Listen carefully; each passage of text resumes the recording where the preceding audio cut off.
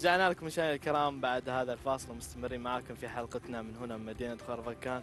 طبعا عايشة جدا الأجواء جميلة. آه، مدينة خرفكان يعني كلمنا عن الوالد آه، في بداية الحلقة. بين الماضي والحاضر.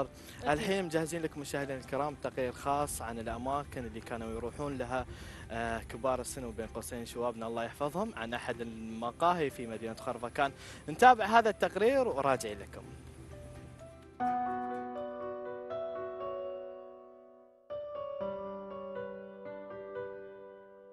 كان المقهى في الماضي مزرارنا يوميا للصيادين والنواخذ وأصحاب الحرف المهنية البسيطة بل وللبسطاء من الناس. وعلى طاولات وكراسي هذه المقاهي كانت تدور أحاديث وحوارات تخص الصيد والغوص وأخبار سكان الفريج أو الحي.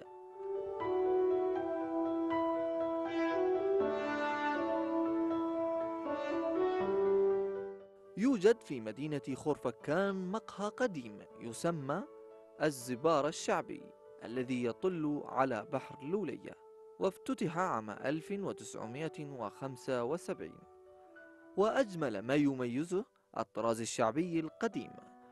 بني من جذوع النخيل والسعف وزينت مخارجه بأبواب قديمة يعود تاريخها لعشرات السنين. يقدم المقهى الشعبي العديد من الأكلات الشعبية ومنها الباجيلا والنخي وغيرها. شهدت المقاهي الشعبية حركة انتشار واسع في الدولة وتميزت قديما بمواقعها وأسمائها التي تدل على المكان والزمان وتروي قصص سكانها.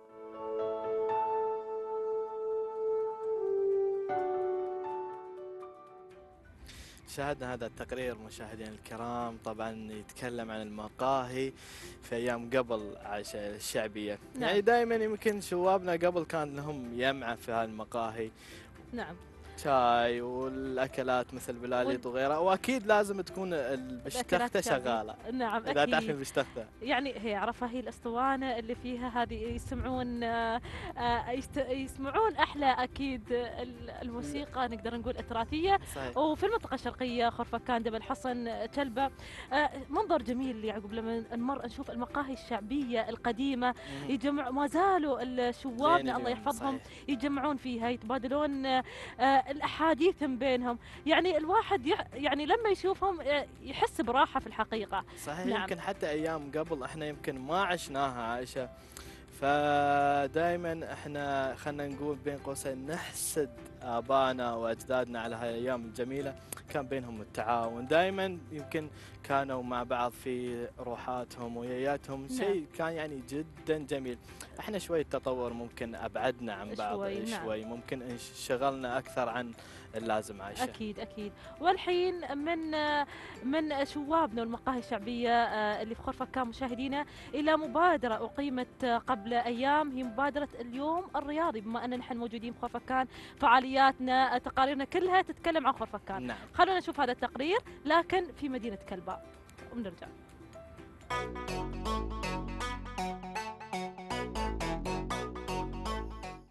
نظم نادي سيدات كلباء بالتعاون مع نادي اتحاد كلباء الرياضي الثقافي فعالية اليوم الوطني الرياضي بحضور لاعبي نادي اتحاد كلباء المحترفين. وطلبة المدارس الحكومية ومشاركة المؤسسات في المنطقة والأطفال. آه، تم التجهيز لهذه الفعالية. آه، مسبقا والتحضير لها من خلال تنظيم عدة رياضات آه، من أهمها كرة السلة، كرة اليد، كرة الطائرة، كرة القدم للفتيات وللأولاد كذلك. آه، احتفالنا بهذه المناسبة آه، يأتي ضمن احتفالات المؤسسية والمبادرات المجتمعية التي تنظمها المؤسسات من خلال الشراكات المجتمعية ضم البرنامج الرياضي مجموعة متنوعة من الأنشطة الممتعة بدأتها حضانة تالا للأطفال لتقديم تمارين القفز وسباق السيارات والالتفاف حول الأقماع إلى جانب توفير وجبات صحية. وشارك طلبة المدارس مع المدرب مصطفى كمال تمارين شد اليد التي تساعد على تمديد العضلات وتقويتها بشكل غير مباشر. بالإضافة إلى لعبة كرة القدم وتمارين الجري لتحريك الدورة الدموية. أنا سعيد أنه أشارك في مثل هذا اليوم. آه، مع هذا هؤلاء الأطفال آه، سعيدين بالمشاركة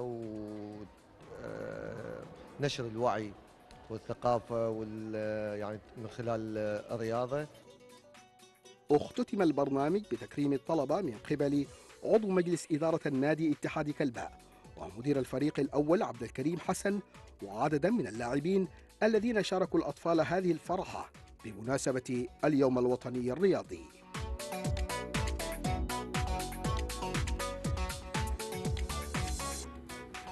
رجعنا لكم مشاهدينا بعد ما شفنا هذا التقرير. طبعا هذه المبادرات أو مبادرة اليوم الرياضي كانت تقريبا في معظم الأماكن يعقوب نشوف الأطفال صحيح. آه، المدارس وغيرهم متجمعين في الأماكن اللي موجودة منها كرنيش مدينة كلباء من على البحيرة في الصالات وغيرها. آه، صحيح. جميل آه، يعقوب ومشاهدينا الاهتمام بالأطفال. تعريفهم أكثر وأكثر مثل ما ذكرت اليوم في المقدمة.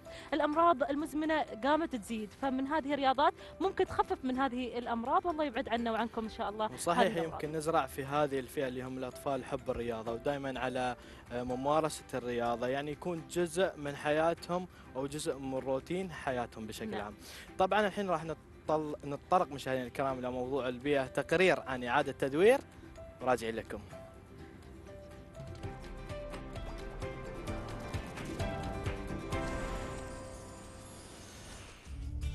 أسعد الله أوقاتكم. آه، اليوم إن شاء الله رح نعمل من ورق الجرايد صحن للشوكولا أو للحلويات آه، رح نحتاج جرايد رح نحتاج غراء أبيض رح نحتاج مقص.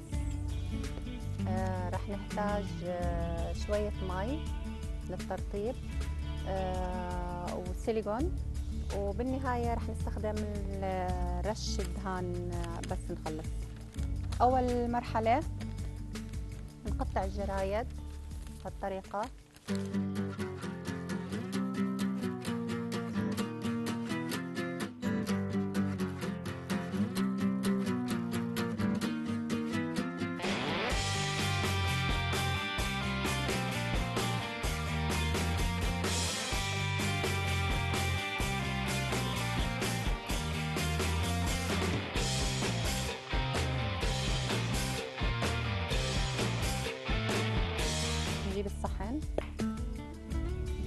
القاعدة.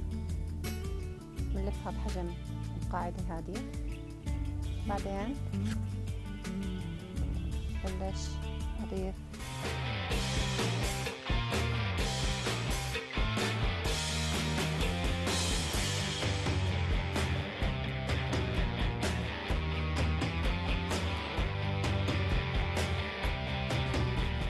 زي ما أنتم شايفين تطلع النتيجة. زي هيك ممكن أضيف عليها إضافات ثانية أعليها.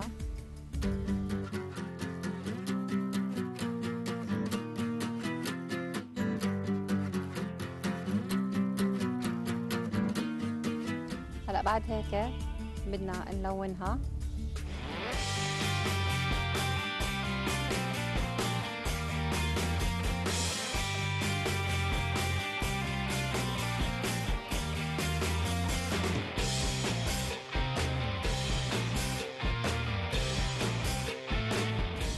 طبعا هيك هلأ هي صارت جاهزة بعد ما تنشف. جاهزة للاستخدام. إن شاء الله أنها نالت إعجابكم وشكرا للمتابعة.